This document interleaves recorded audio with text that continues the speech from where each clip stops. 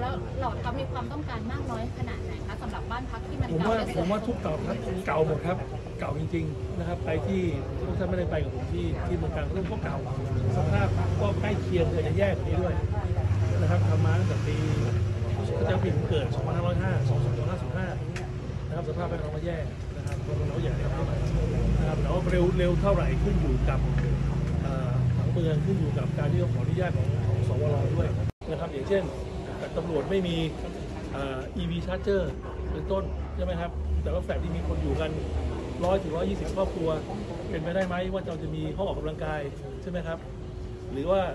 เอ่อห้องสันทนาการที่อยู่ข้างล่างหลายๆอย่างเนี่ยผมว่าปรับปรุงให้ชีวิตความเป็นอยู่ดีขึ้นได้ โดยที่ไม่จำเป็นต้องใช้เงินมากขึ้นนะครับแต่ละที่นี่เหมือนกันเลยไหมคะแบบแต่ละที่หรือว่าจะปรับเปลี่ยนใกล้ตามเคียคงวามเหมาะสมผมว่าใกล้เคียงครับขึ้นอยู่กับกายภาพของแต่ละที่ดินด้วยเหมือนกัน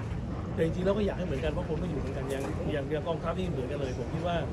ทุกๆท่านออกมาอย่างกองทัพบอกออกแบบมา2ห้องนอน41ตารางเมตรก็ดีมากนะครับเดี๋ยวผมก็จะถามทางคนตำรวจว่าแบบนี้โอเคไหมใช่ไหมครับเพราะว่าสมัยก่อนที่อยู่อาศัยที่สร้างขึ้นมาเนี่ยสองเมตรรูมบางทีก็โอ้โหหกสิบเจ็ดสิบตารางเมตรนะครับ ซึ่งอาจจะไม่อาจจะไม่เป็นประโยชน์สูงสุด อยากจะมีแม่แบบของการอยู่อาศัย